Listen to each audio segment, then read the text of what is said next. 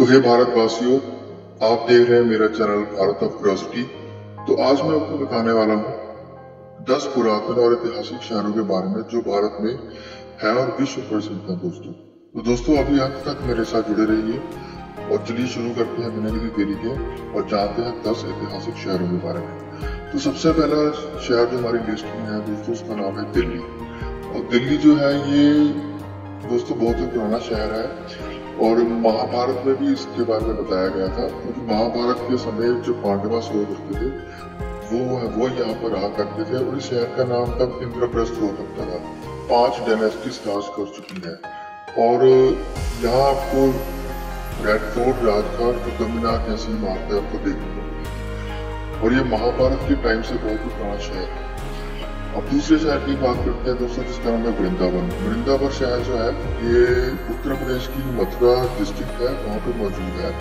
और ये शहर काफ़ी पुराना है, दोस्तों, और ये हमारे जो कृष्ण भगवान है, जो हमारे कृष्ण भगवान, ये उनका बचपन यहाँ पे बीता था। और ये जो शहर है, ये यमुना के किनारे किनारे पे फंसा हुआ है।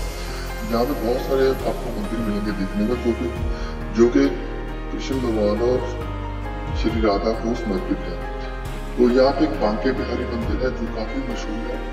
और इसी के साथ यहाँ पे एक इस्कॉन टेंपल है, जो कि इस्कॉन के बारे में आपको पता हुआ जो कि कृष्ण भगवान के को फॉलो करते हैं।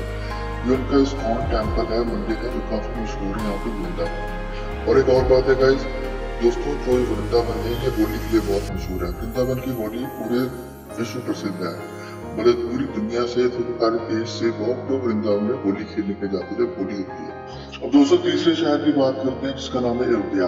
अब ये जो शहर है, आपको सबको पता है कि अयोध्या शहर किनका है? दोस्तों, ये हमारे प्रभु श्री राम का शहर है। और ये जो शहर है, ये सरयू नदी के घाट पर मौजूद है। सरयू नदी के किनारे पे हो सकते हैं, मौजूद है। और यहाँ पे बहुत सारे आपको घाट मिलेंगे इसके बारे में रामायण में बताया गया था कि रामायण में जब राम हुआ करते थे तो तब भी ये शहर हुआ करता था और तब ये राजधानी हुआ करता था। एक उस वक्त एक राज हुआ करता था कुशाला। कुशाला जो एक राज्य हुआ करता था उस कुशाला राज्य की राजधानी हुआ करता था उस टाइम पे? और ये आज से नौ हज़ार साल पहले की बात है। माना जाता है कि आज से नौ हज़ार साल पहले मनु ने ये शहर बसाया था। और अब आपको पता है कि दोस्तों, यहाँ पे अभी प्रभु श्री राम का मंदिर बना था। सारी दुनिया में इसके चर्चे हुए थे, और जिसका उद्घाटन दो हज़ार चौबीस में जनवरी में इस साल हुआ था। तो यहाँ पे आपको और भी बहुत सारे मंदिर मिल जाएँगे, जैसे बेटा के ठाकुर का मंदिर, गुप्तार घाट है, गुलाब गरी है और कनक भवन है। और यहाँ पे आपको आपको और कोई ऐसे ऐतिहासिक मंदिर मिल जाएँगे दर्शन करने अब अगले शहर की बात करते हैं दोस्तों जिसका नाम है वाराणसी। अब वाराणसी जो है, ये शिव जी भगवान का शहर है और ये गंगा के घाट में बसा हुआ शहर है। ये भी भारत के सबसे पुराने शहरों में से एक शहर है दोस्तों। और माना जाता है कि आज से तीन हज़ार साल पहले ये शहर बसा था। और यहाँ की गंगा आरती बहुत मशहूर है। अगर आप एक कभी यहाँ पे जाने का आपको मौका मिलेगा तो यहाँ की शाम की जो गंगा आरती होगी वो देखिए वो काफ़ी मशहूर है बहुत लोग हमारे देश से या दुनिया से भी यहाँ पे गंगा आरती देखने के लिए अब चौथे शहर का नाम है दोस्तों द्वारका। अब ये भी गुजरात में मौजूद है और इसे मोस की नगरी भी कहा जाता है दोस्तों। जब हम चार धाम की यात्रा करते हैं तो चार धाम की यात्रा में द्वारका की द्वारका का भी नाम लिया जाता है। अब यहाँ पे द्वारकाधीश मंदिर है, जो कि काफ़ी मशहूर है, जिसको जगत मंदिर भी कहा जाता है। और इसी के साथ, इस यहाँ पे एक रुक्मणी टेंपल है, जो आपको पता है कि भगवान श्री कृष्ण की जो पत्नी हुआ करती थी, रुक्मणी, उनका मंदिर है, और जिनको लक्ष्मी का अवतार माना जाता है। तो उनका रुक्मणी मंदिर यहाँ पे है, जो कि काफ़ी विश्व प्रसिद्ध मंदिर है। और इसको दोस्तों आदि शंकराचार्य का मंदिर माना जाता है। माना जाता है कि आदि शंकराचार्य जो करते थे, आदि शंकराचार्य ने यहाँ पे सबसे पहले जो मठ थे, वो अपने बनाए थे। और यहाँ पे एक नगेश्वर मंदिर है, जो कि बारह जो शिव जी भगवान के ज्योतिर्लिंग है, उनमें से एक ज्योतिर्लिंग एक ज्योतिर्लिंग है नागेश्वर मंदिर, जो यहाँ पे मौजूद है। तो अब अगले शहर की बात करते हैं, जिसका नाम है पुरी। अब पुरी जो है, आपको पता होगा और पुरी के बारे में आपको ये तो पता होगा कि यहाँ पे जगन्नाथ मंदिर है। और ये जो जगन्नाथ मंदिर है, ये काफ़ी विश्व प्रसिद्ध है? तो माना जाता है कि सबसे बड़ी जो रसोई है ना, दोस्तों, ये जगन्नाथ मंदिर की रसोई है, पूरे विश्व में। और यहाँ पे एक का सन टेंपल है। अब ये जो शहर है, पुरी, दोस्तों, ये ओडिशा में मौजूद है। और यहाँ पे माना जाता है कि चौबीस तरह के त्योहार, और जिनमें से तेरह के काफ़ी तेरह त्यौहार काफ़ी मुख्य होते हैं, वो हर साल यहाँ पे मनाए जाते हैं। अब अगले शहर की बात करते हैं, दोस्तों, जिसका नाम है मदुराई अब मदुराई भी जो ये तमिलनाडु में मौजूद है ये शहर, और ये नदी जो है वैगई नदी है इसके तट में मौजूद है।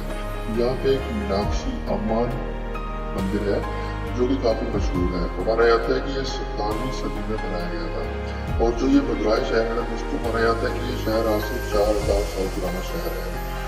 और ये जो मदुराई के लोग करते थे उस समय पे इनका माना जाता है कि जो रोमन सुनाते थे ना, उनका वो रोमन एक रोमन राज्य हुआ करता था तो रोमन राज्य के साथ उनके रिलेशन हुआ करते थे मदुराई के उस समय। तो अभी नेक्स्ट अगले शहर की बात करते दोस्तों जिसका नाम है उज्जैन। अब ये उज्जैन शहर है, ये काफ़ी पुराना शहर है, और इसको भी मंदिरों का शहर कहा जाता है, कई जो ये उज्जैन शहर है। और ये जो नदी शिप्रा है, नदी शिप्रा के किनारे पे मौजूद है।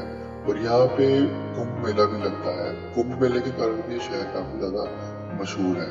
अब अगले शहर की बात करें दोस्तों, जिसका नाम है कनौज अब जो कनौज शहर है, ये उत्तर प्रदेश में मौजूद है तो महाभारत और रामायण काल के समय से ये शहर दोस्तों मौजूद है।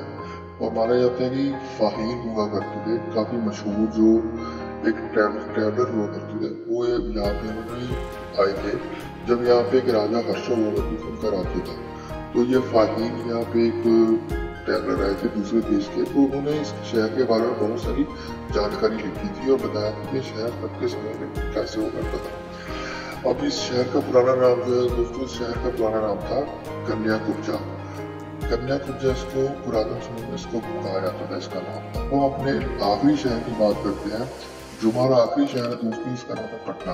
अब जो पटना शहर है दोस्तों, ये शहर जो है इसका पुराना नाम था पाटलिपुत्र और पुराने समय में जो मौर्य लोग होते थे और जो एक मौर्य एक दोस्तों राज्य हो गया था उसकी राजधानी पटना और ये यहाँ पे आपको बुद्धिज्म और जैनिज्म दोनों धर्मों के लोगों के मंदिर आपको मिलेंगे ये शहर है। और ये गंगा नदी के किनारे पे मौजूद है शहर तो तो दोस्तों ये तो आज बात होगी दस ऐसी इतिहासों को पुराने शहरों के बारे में जो कि भारत में मौजूद है। तो ये शहर जो है दोस्तों आज से हज़ारों साल पुराने हैं। तो आपको ये वीडियो कैसी लगी दोस्तों? लाइक और शेयर में ज़रूर बताइए और मेरे चैनल को सब्सक्राइब करें और ऐसी रोमांचक वीडियोस देखने के लिए।